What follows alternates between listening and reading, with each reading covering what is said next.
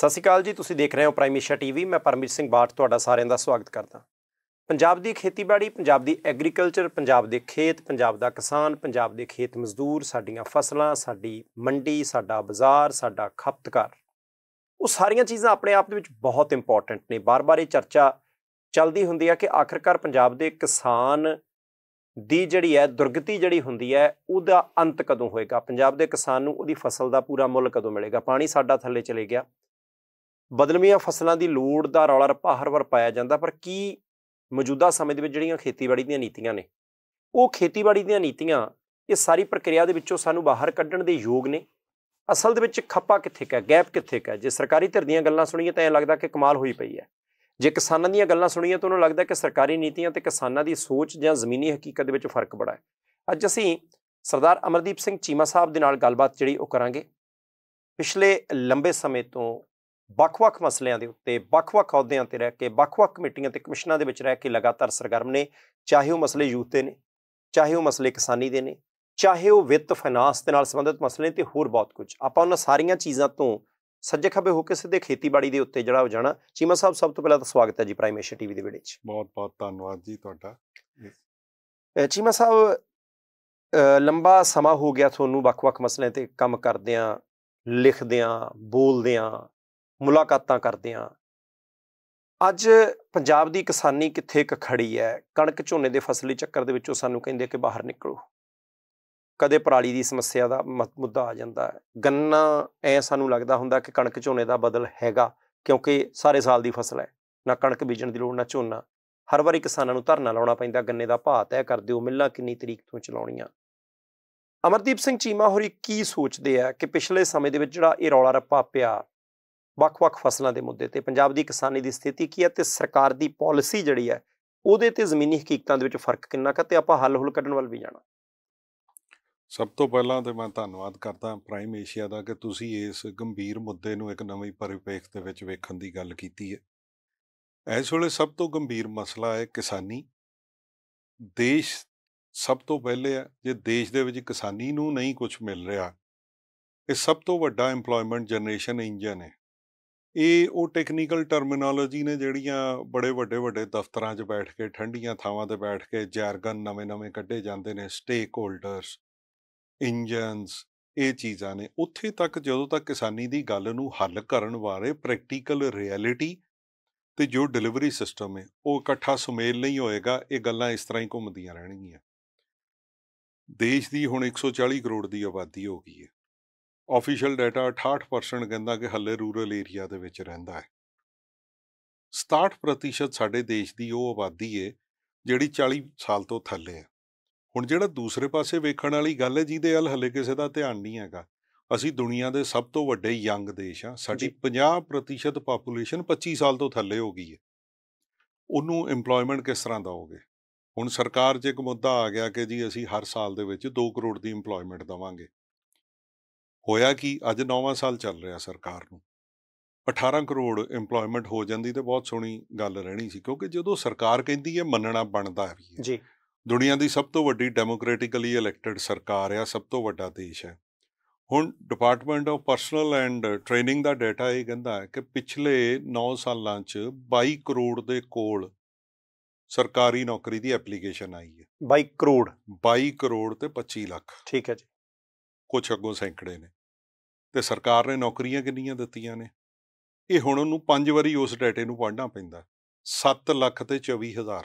22 ਕਰੋੜ 25 ਲੱਖ ਚੋਂ। 22 ਕਰੋੜ 25 ਲੱਖ ਦੇ ਵਿੱਚੋਂ ਜਿੱਥੇ 140 ਕਰੋੜ ਪਾਪੂਲੇਸ਼ਨ ਹੋ ਗਈ ਹੈ ਜਦੋਂ 125 ਕਰੋੜ ਦੀ ਪਾਪੂਲੇਸ਼ਨ ਤੇ ਸਰਕਾਰ ਬਣੀ ਸੀ 2 ਕਰੋੜ ਹਰ ਸਾਲ ਨੌਜਵਾਨੀ ਨੂੰ ਨੌਕਰੀ ਦੇਣ ਦਾ ਵਾਅਦਾ ਕਰਕੇ। ਸਾਡੀ ਗਰੋਥ ਘਟ ਗਈ ਹੈ। ਇੰਡਸਟਰੀਅਲ ਗਰੋਥ ਘਟ ਰਹੀ ਹੈ। ਵਿੱਚੋਂ ਕੋਵਿਡ ਆ ਗਿਆ, ਉਹ ਤੇ ਇੱਕ ਗੱਲ ਬਣ ਗਈ, ਬਹਾਨਾ ਬਣ ਗਿਆ। ਫਿਰ ਵੀ ਇਸੇ ਕਿਸਾਨੀ ਨੇ ਬਚਾਇਆ। ਇਸ ਕਿਸਾਨੀ ਨੇ ਉਹਨਾਂ ਤਿੰਨਾਂ ਮਹੀਨਿਆਂ 'ਚ 29000 ਕਰੋੜ ਦਾ ਫੋਰਨ ਐਕਸਚੇਂਜ ਅਰਨ ਕਰਕੇ ਦਿੱਤਾ ਸਾਨੂੰ। ਦੁਨੀਆ 'ਚ ਪਹਿਲਾ ਕੰਟਰੀ ਸੀ ਜਿਹਦੀ ਆਪਣੀ ਪਾਪੂਲੇਸ਼ਨ ਦਾ ਢਿੱਡ ਭਰਿਆ ਇਸ ਕਿਸਾਨੀ ਨੇ ਤੇ ਐਕਸਪੋਰਟ ਕਰਨ ਲਈ ਵੀ ਮੌਕਾ ਦਿੱਤਾ। ਜੇ ਇਸ ਕਿਸਾਨੀ ਵੱਲ ਧਿਆਨ ਨਹੀਂ ਦਿੱਤਾ ਜਾਏਗਾ, ਇਹ ਗੱਲ ਨਾ ਸਮਝੀ ਜਾਵੇ ਕਿ ਜੇ ਐਜੀਟੇਸ਼ਨਾਂ ਨਹੀਂ ਚੱਲਦੀਆਂ ਇਹ ਜਿਹੜੀ ਤਿੰਨ ਕਿਸਾਨ ਵਿਰੋਧੀ ਬਿੱਲਾਂ ਦੀ ਐਜੀਟੇਸ਼ਨ ਚੱਲੀ ਉਹਦਾ ਬੈਕਗ੍ਰਾਉਂਡ ਇਹ ਹੈਗਾ ਏ ਕਿ ਇੰਨੀ ਦੇਰ ਤੋਂ ਸੰਘਰਸ਼ ਚੱਲ ਰਿਹਾ। ਕਿਸਾਨੀ ਕੋਲ ਵੇਲ ਨਹੀਂ ਲੱਗ ਪਾਉਂਦਾ ਇਹ ਕਿਸਾਨੀ ਇੱਕ ਜੀਵਨ ਜਾਚ ਆ it's a way of life ਜੀ। ਲੋਕ ਇਹਨੂੰ ਕਾਰੋਬਾਰ ਸਮਝ ਲੈਣ ਕੁਝ ਸਮਝ ਲੈਣ ਉਹ ਬਾਅਦ ਦੀਆਂ ਗੱਲਾਂ ਨੇ।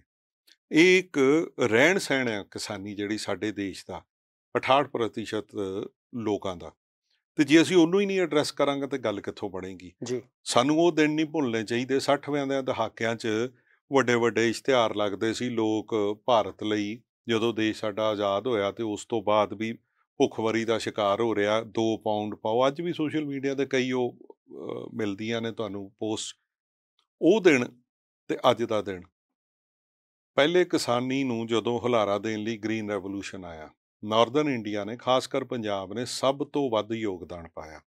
ਉਦੋਂ ਕਿਸੇ ਨੇ ਇਹਨਾਂ ਨੂੰ ਇਹ ਨਹੀਂ ਪੁੱਛਿਆ ਵੀ ਤੁਸੀਂ ਬੜਾ ਸੰਯਮ ਨਾਲ ਪਾਣੀ ਵਰਤਿਓ ਸੰਯਮ ਨਾਲ ਜ਼ਮੀਨ ਵਰਤਿਓ ਉਹਦੀ ਮੈਂ ਤੁਹਾਨੂੰ ਇੱਕ ਐਗਜ਼ਾਮਪਲ ਦਵਾਂਗਾ ਕਿ 60ਵੇਂ ਦੇ ਦਹਾਕਿਆਂ 'ਚ 500 ਟਨ ਸਿਰਫ ਕਣਕ ਦੇ ਵਿੱਚ ਖਾਦ ਪਈ ਸੀ। ਜੀ 500 ਟਨ।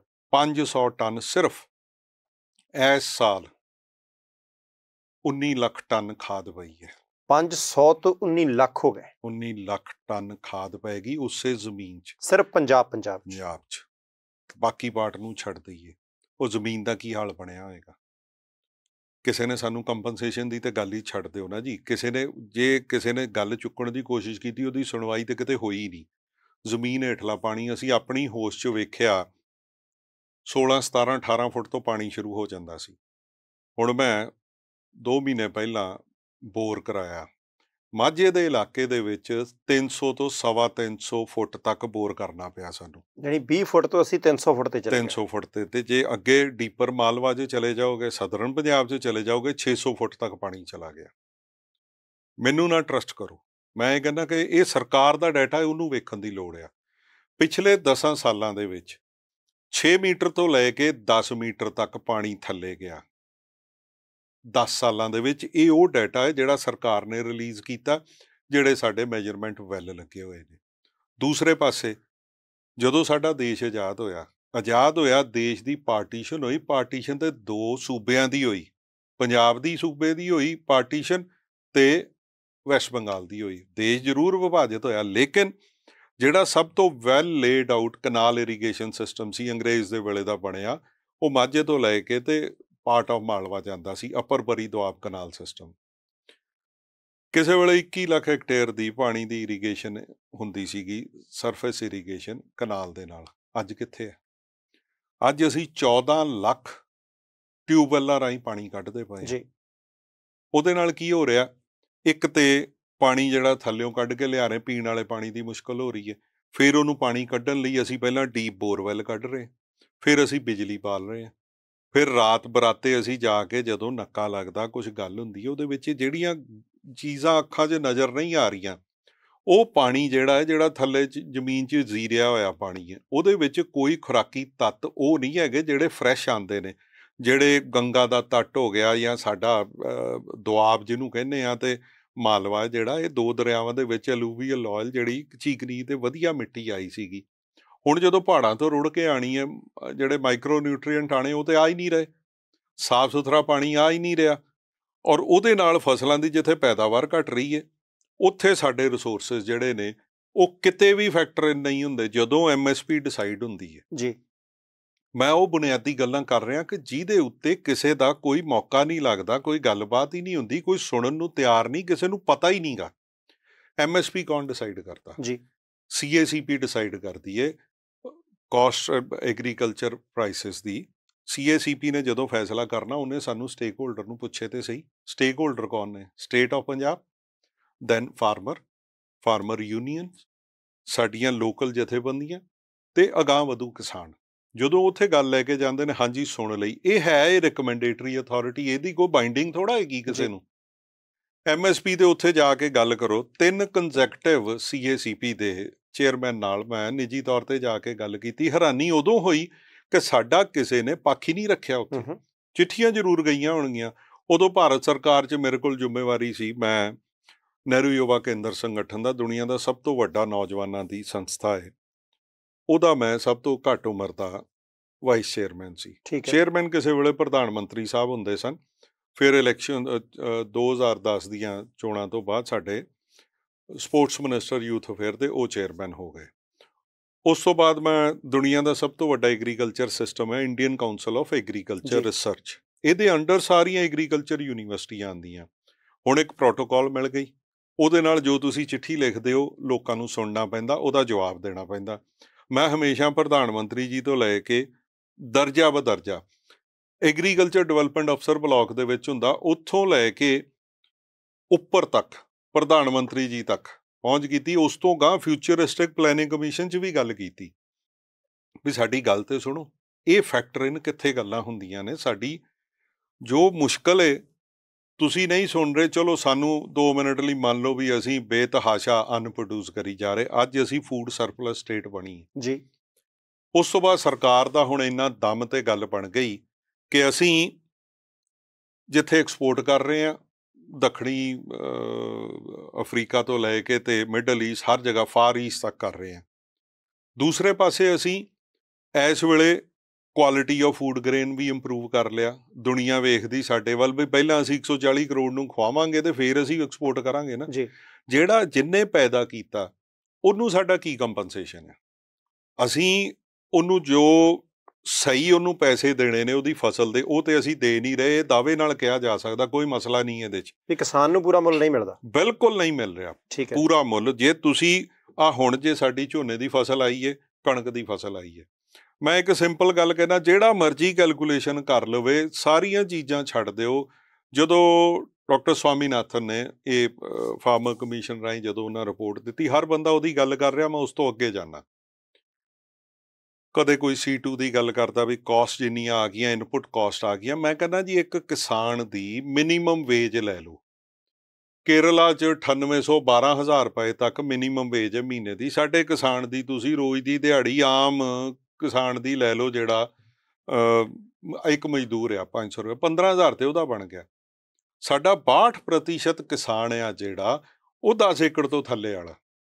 2 ਹੈਕਟੇਅਰ ਤੋਂ 5 ਹੈਕਟੇਅਰ ਤੋਂ ਥੱਲੇ ਥੱਲੇ ਆ। ਜੇ ਉਹਦੀ ਦਿਹਾੜੀ ਲਾ ਲਓ ਤੇ ਉਹਨੂੰ ਬਚਿਆ ਕੀ? ਜੀ। ਇਸੇ ਲਈ ਮੈਂ ਕਿਹਾ ਇਹ ਜੀਵਨ ਜਾਚ ਹੈ ਉਹ ਕਿਸਾਨ ਜਾਏ ਕਿੱਥੇ? ਹੁਣ ਬਾਹਰਲੇ ਲੋਕਾਂ ਨੂੰ ਦੇਖਦਾ ਵੀ ਇਹਦਾ ਮੁੰਡਾ ਤੇ ਮੋਟਰਸਾਈਕਲ ਲੈ ਕੇ ਨਿਕਲ ਗਿਆ ਇਹਦਾ ਮੁੰਡਾ ਕਾਰ ਲੈ ਗਿਆ ਗੱਲਾਂ ਚੱਲ ਪਈਆਂ ਜੀ ਫਾਰਚੂਨਰ ਲੈ ਕੇ ਫਿਰਦੇ ਨੇ। ਉਹ ਜਦੋਂ ਤੱਕ ਉਹਦੇ ਕੋਲ ਸਹਾਇਕ ਧੰਦਾ ਹੈ। ਜੀ। ਜਦੋਂ ਇੱਕ ਫੈਮਿਲੀ ਦਾ ਇੱਕ ਆਦਮੀ ਕੋਈ ਬਾਹਰ ਨੌਕਰੀ ਕਰ ਰਿਹਾ ਦੁਖੀ ਹੋ ਕੇ ਤੇ ਵਿਦੇਸ਼ ਗਏ ਪਹਿਲਾਂ ਸਭ ਤੋਂ ਪਹਿਲਾਂ ਦੁਆਬਾ ਕਿਉਂਕਿ ਉੱਥੇ ਛੋਟੀ ਲੈਂਡ ਹੋਲਡਿੰਗ ਸੀ। ਉਸ ਤੋਂ ਬਾਅਦ ਮਾਝੇ ਵੱਲ ਰੁਝਾਨ ਬਣ ਗਿਆ ਭਾਵੇਂ ਬੜੀ ਜ਼ਰਖੇਜ਼ ਜ਼ਮੀਨ ਸੀ। ਫਿਰ ਜਦੋਂ ਮਾਲਵੇ ਵੱਲ ਗਿਆ ਧਿਆਨ ਸਾਰੇ ਲੋਕ ਇਸੇ ਲਈ ਤਾਂ ਬਾਹਰ ਜਾ ਰਹੇ ਨੇ ਵੀ ਜਦੋਂ ਇੱਥੇ ਤੁਹਾਡਾ ਢਿੱਡ ਹੀ ਨਹੀਂ ਭਰ ਰਿਹਾ ਉਹਦੀ ਪ੍ਰੋਫਿਟੇਬਿਲਟੀ ਦੀ ਤਾਂ ਗੱਲ ਹੀ ਨਾ ਕਰੋ। ਸੋ ਫਿਰ ਵਾਪਸ ਆਪਾਂ ਸੀਏਸੀਪੀ ਦੇ ਉੱਤੇ ਆਨੇ ਆ ਜੀ। ਸੀਏਸੀਪੀ ਕੋਲ ਸਾਡੀ ਇਹ ਗੱਲ ਹੋਣੀ ਚਾਹੀਦੀ ਹੈ cost price agriculture cost prices commission ਦੇ ਕੋਲ ਵੀ ਕਿੰਨੇ ਪੈਸੇ ਮਿਲਣੇ ਚਾਹੀਦੇ ਨੇ। ਹੁਣ ਇਹਨਾਂ ਨੇ ਬਣਾ ਕੇ ਤੇ cabinet committee on economic affair ਹੈ ਯੂਨੀਅਨ ਕੈਬਨਿਟ ਦੀ ਜਿਹਨੇ ਫੈਸਲਾ ਲੈਣਾ ਵੀ ਅਸੀਂ ਕਿੰਨੇ ਪੈਸੇ ਦੇਣੇ ਨੇ ਸੀਏਸੀਪੀ ਨੇ ਆ ਰეკਮੈਂਡ ਕੀਤਾ ਅਸੀਂ ਦਈਏ ਕਿ ਨਾ ਦਈਏ? ਨਹੀਂ ਪੰਜਾਬ ਸਰਕਾਰ ਕਹਿ ਸਕਦੀ ਆ ਉੱਥੇ। ਕਹਿਣਾ ਚਾਹੀਦਾ ਕਹਿੰਦੇ ਵੀ ਨੇ।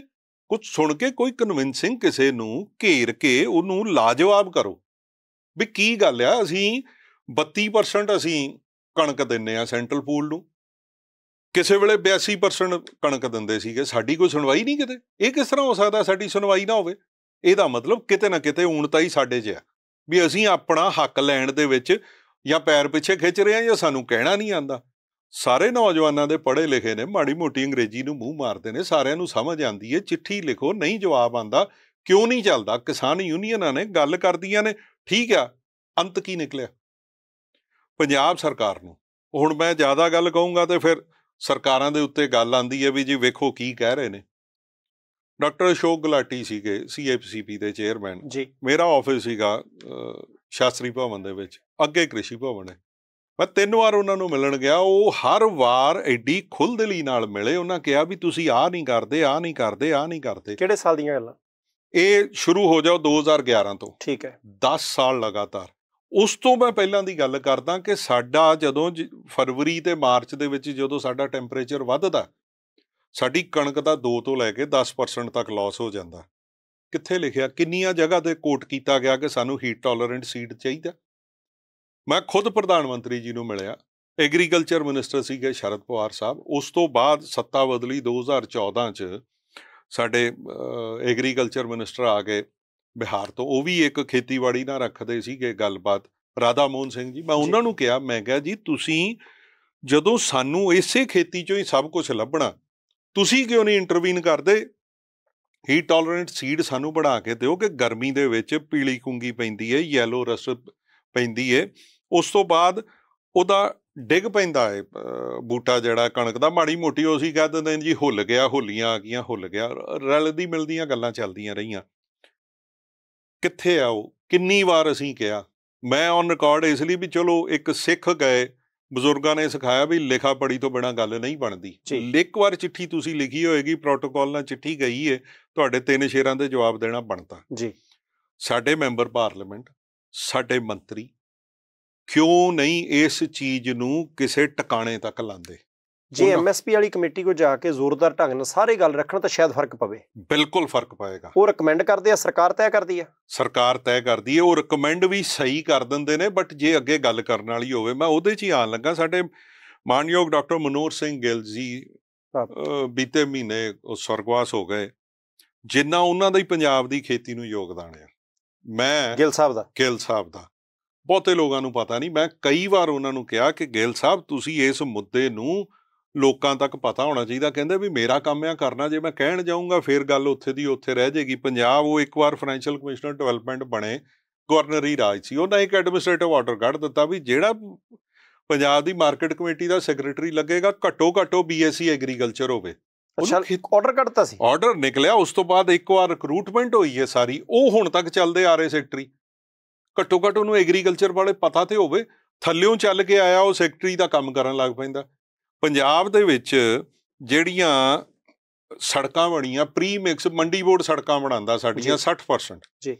60000 ਕਿਲੋਮੀਟਰ ਪੰਜਾਬ ਮੰਡੀ ਬੋਰਡ ਬਣਾਉਂਦਾ ਕਦੇ ਉਹ ਪੀਡਬਲਯੂਡੀ ਨੂੰ ਠੇਕਾ ਦੇ ਦਿੰਦਾ ਤੇ ਕਦੇ ਨੈਸ਼ਨਲ ਹਾਈਵੇ ਨੇ ਤੇ ਲੋਕਲ ਹੋਰ ਐਨਐਚਏਆਈ ਵੀ ਬਣਾ ਲੈਂਦੀ ਹੈ।